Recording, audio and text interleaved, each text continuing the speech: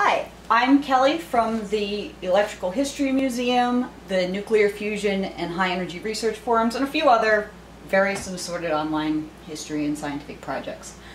Um, what I'm going to demonstrate for you today is this Edwards high frequency coil. And this is a very, very old high frequency apparatus.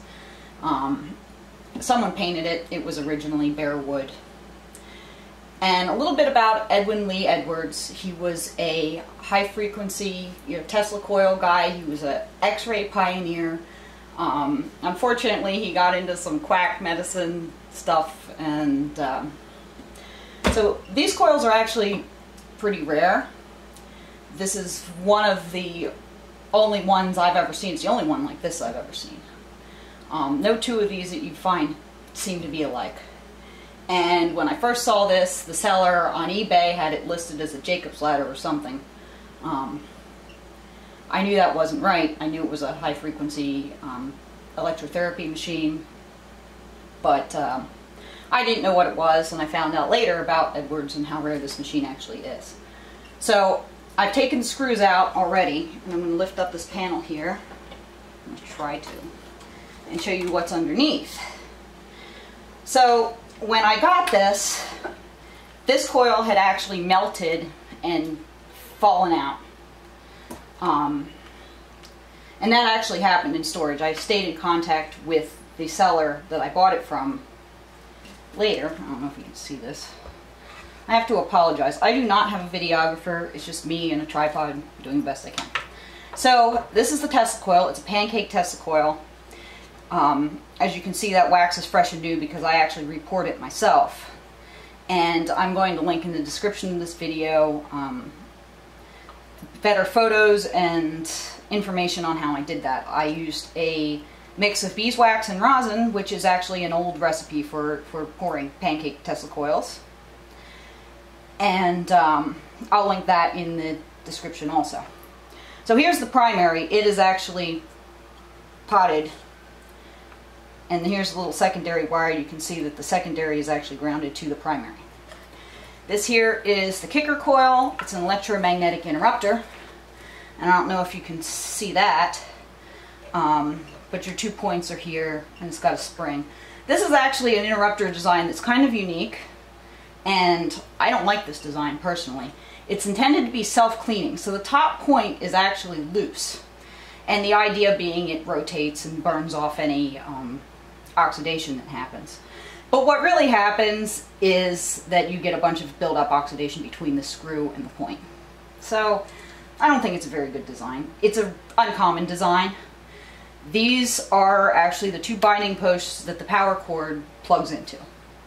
Um, this was in the late 18, early 1900s. Um, OSHA was not a thing yet. Yeah, you just high voltage contacts everywhere and you just plug the power cord right into binding posts. So I don't know if you can see this again. This coil was actually damaged. Um, somebody had messed with it, I think, before I got to it, and there was a big loop of wire sticking out. So I ended up cutting that and, and soldering it back together. This is the capacitor, and as you can see, there is a little, um, this is actually a Cornell capacitor. These are really popular with um, Tesla coil builders, modern Tesla coil builders. They are great for restoring these old things. A lot of modern Tesla coils, if you look, you'll see these guys. So this is the old capacitor underneath here. And this is actually lead foil and mica. And now what happens a lot of times is ozone buildup, the lead foil just falls apart. So these capacitors are often no good. So what I did, I just attached to this capacitor, piggybacked it on there, left the old one in there. And this old capacitor is no longer into the, in the circuit. This modern capacitor is now powering this. And as you can see, this old rubber has turned to ceramic. Um, so I'm going to put this back in here.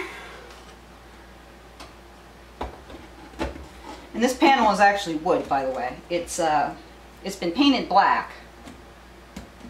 And a lot of times you'll see these with marble panels or, or off Bakelite I've seen, not necessarily the Edwards ones, but these machines in general. Um, but this one happens to be wood. It has an on-off switch. The adjustment on the spark length is done by the interrupter. And this, you can adjust the gap.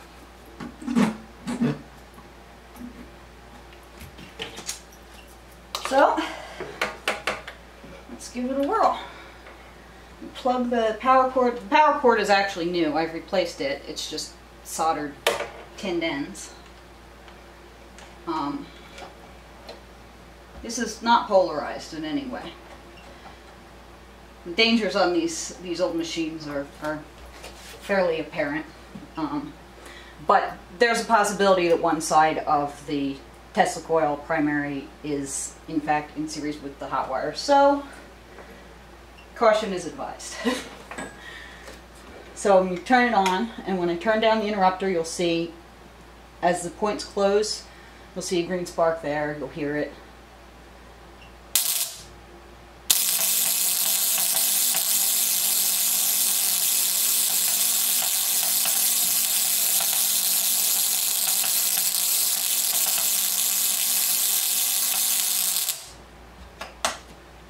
Now, this coil was made for electrotherapy, and this is a new cable also. I saved the ends and replaced the cable. It came with several electrodes which would have clipped into the top here. And this is, I believe, the only one that I have that, that came from this. Um, as you can see, it's fairly, um, it's old. It's kind of experimental looking, um, as is the handle and this would have just clipped in here. I'm always nervous about doing this because I don't want to break the glass. So this was your electrotherapy treatment electrode. This would clip on here somehow. This, this really looks like a prototype. it may have been, actually and stick that in there. And when I turn this back on, this will hopefully light up.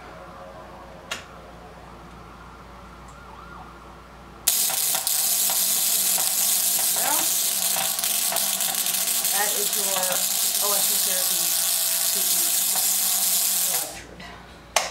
A very, very old early plasma tube. I'm always afraid of breaking this. so, I don't believe Edwards actually used these for x-ray. Um, it's possible it could have been. I do not have any of the x-ray equipment that would have gone with it. Some x-rays were used for high frequency. Um, it was a specially designed tube and you'll see a few of those and I'll likely demonstrate one at some point. So there you have it the Edwin Lee Edwards electrotherapy high frequency device.